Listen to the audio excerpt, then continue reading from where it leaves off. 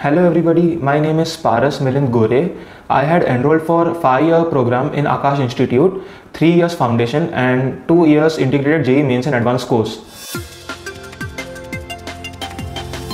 So I chose Aakash Institute because it was producing good results consistently for the past few years and also when I visited the center with my parents, the environment over there was also very good and perfect for me to study in here and when i met the teachers for the first time they were also very friendly and tried to help me in every way possible. So uh, when i completed my foundation course in 10th standard and scored 96% my parents were very impressed and uh, that is why i chose to continue aakash for my JEE journey too because i thought it was a perfect choice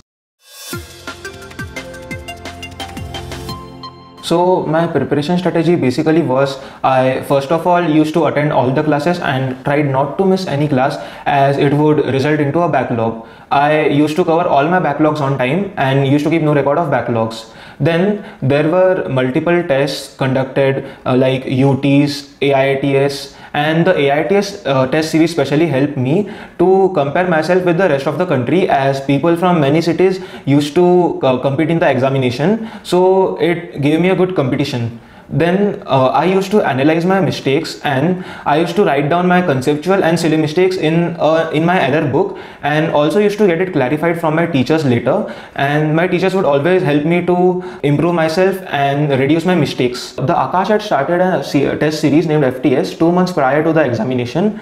This test series helped me improve my speed and my accuracy and it covered all types of questions so it really helped me for the preparation of my JEE Mains examination. In the examination I had developed a, a particular pattern which I also followed in the final examination. So when I used to get low marks, I usually did not feel discouraged and uh, my teachers also motivated me that I can do better. I have more potential than this. So what I did was I basically analyzed the test in which I had low marks and worked out on the parts where I was wrong or where uh, the parts which I was lacking uh, and also studied the concepts thoroughly which I used to usually uh, get wrong the part in which um, my questions used to be incorrect. So my teachers always motivated me me and they always helped me to uh, improve my performance in every test and whenever I used to get low marks they always used to support me and never discouraged me.